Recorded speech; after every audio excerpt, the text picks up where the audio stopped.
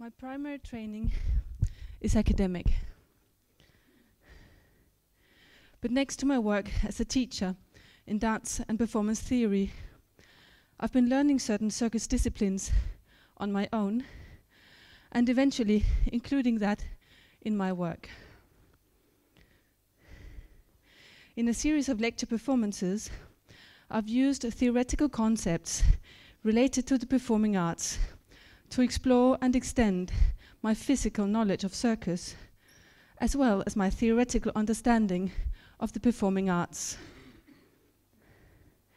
In this presentation, I have tried to start the other way around. I have started from three physical practices that I have constructed based on the challenges I believe I need to face as a practitioner.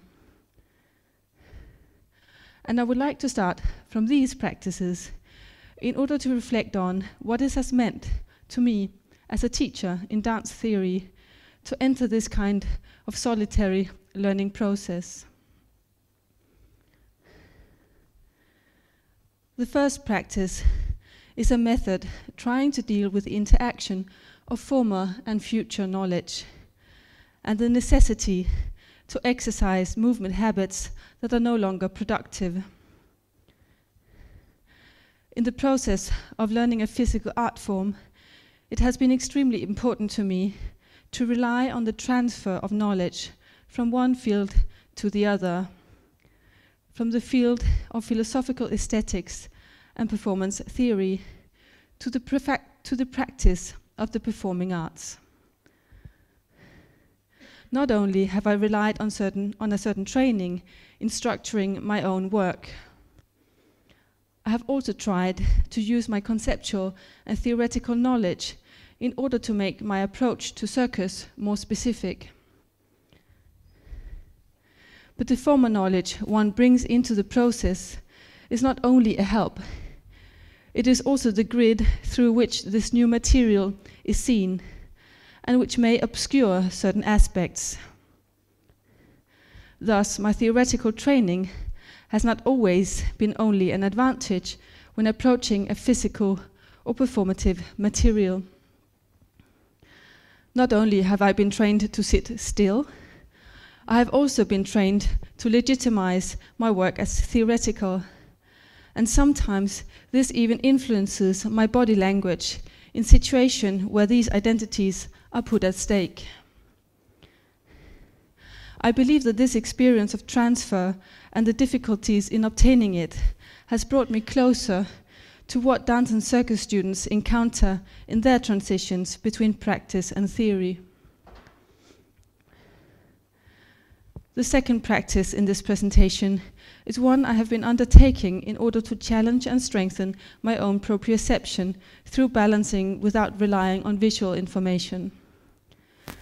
To begin with, this practice rendered my body completely chaotic and unorganized and questioned the skills I thought I had acquired in handstand. On a more general level, the meeting with the concrete, with the sensorial material that the process of learning a physical art form has brought with it, has had a similar effect. But not only on a physical level. Through this confrontation with the concrete, some of my theoretical assumptions have also been questioned. My perception is put at stake. How come it feels like the right position, but when I look at it, I realize that it is not? How come I can have such a clear memory of the right feeling, but, but be unable to reproduce it? But this perceptual unsettling also has consequences for my conceptual understanding of the performing arts. Suddenly, it is difficult to have clear opinions about how physical and performative material really works. My aesthetic convictions are shaken. Certainty gives way to doubt. But this shock to perception or shock to thought um, also in this shock to perception or in this shock to thought, new questions also make themselves felt. For instance, how come alignment works so differently upside down? Or In which way does our perception build the base of our cognitive processes? In the third practice, I've been focusing on the difficulty of making that sensorial encounter alive, even when it has become part of your habit.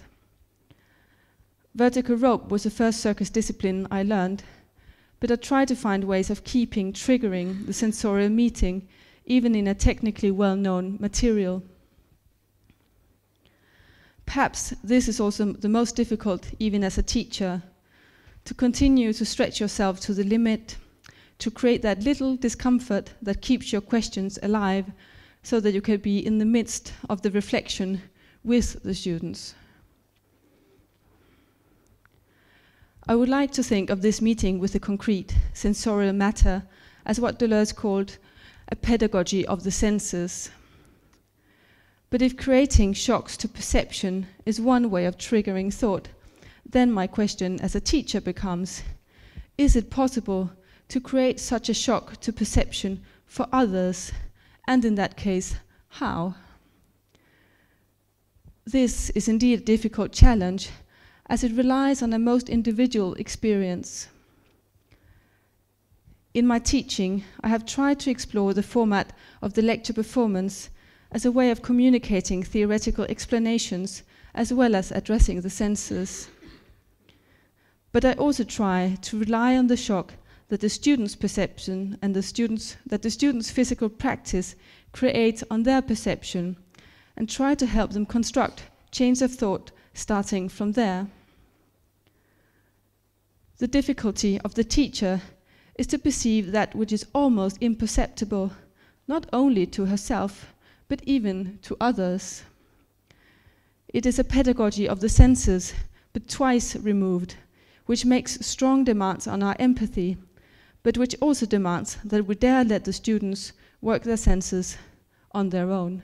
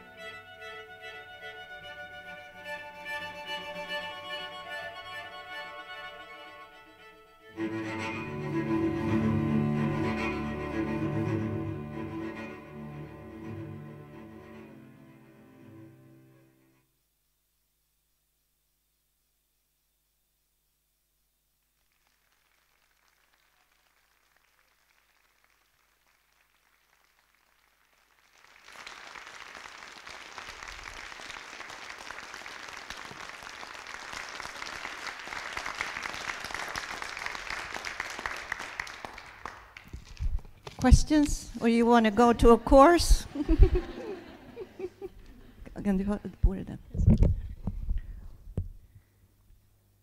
Anyone?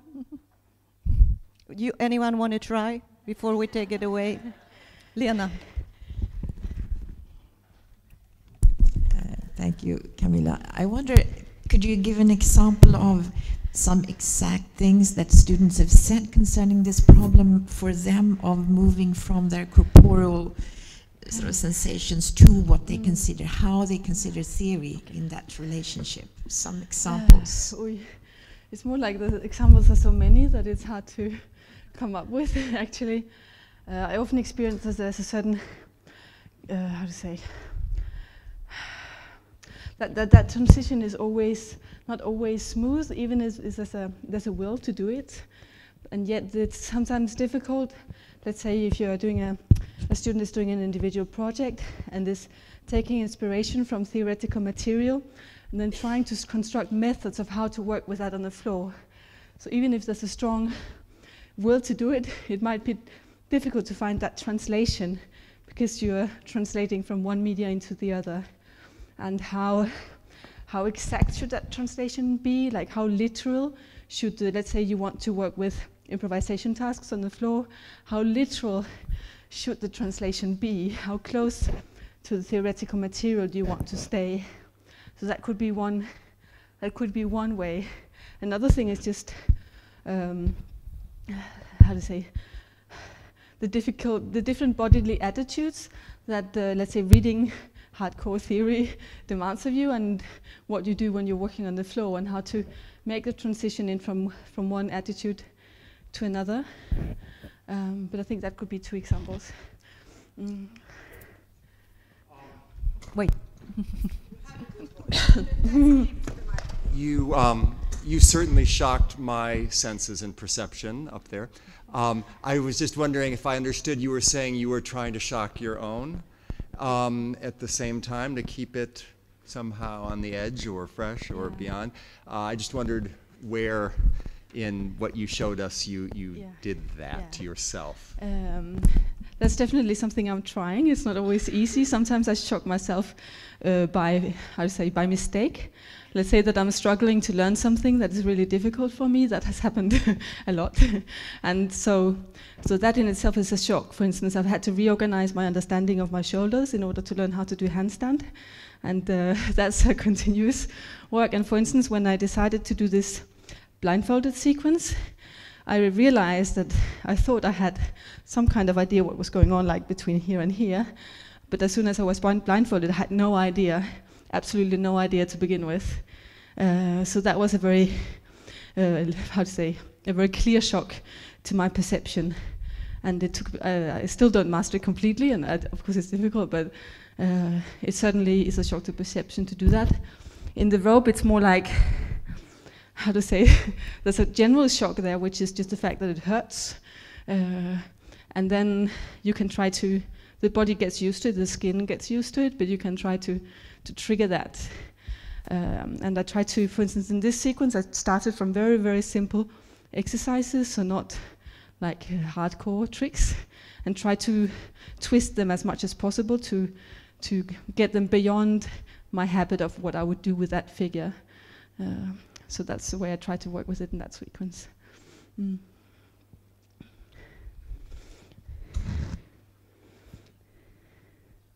Anyone else? Okay, we thank you very much.